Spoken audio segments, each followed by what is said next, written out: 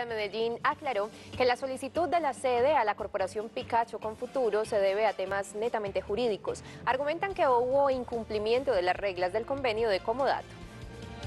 La administración argumenta que se trata de la violación a la ley por la modificación de los espacios del comodato. Lamentablemente, la corporación violó las reglas que tiene el comodato.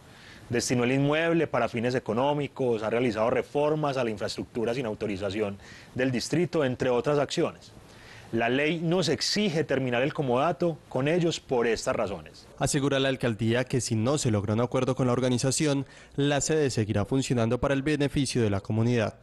En caso de que no se logre un nuevo acuerdo para que ellos sigan con el comodato, desde la administración distrital buscaremos alternativas para que el bien se mantenga a disposición de todas las organizaciones sociales del territorio y la ciudadanía en general. La corporación espera participar en la mesa de trabajo que anunció la alcaldía. Nosotros creemos que no hay ninguna dificultad jurídica, eh, además el alcalde dice que tienen una mesa de trabajo y nos gustaría que nos invitaran a esa mesa. Picacho con Futuro convocó al secretario de Participación y al alcalde de Medellín a una reunión mañana en su sede.